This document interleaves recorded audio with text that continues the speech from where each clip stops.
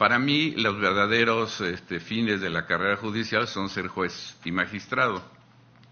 Y los principios que se buscan en el CIEN constitucional son para los juzgadores.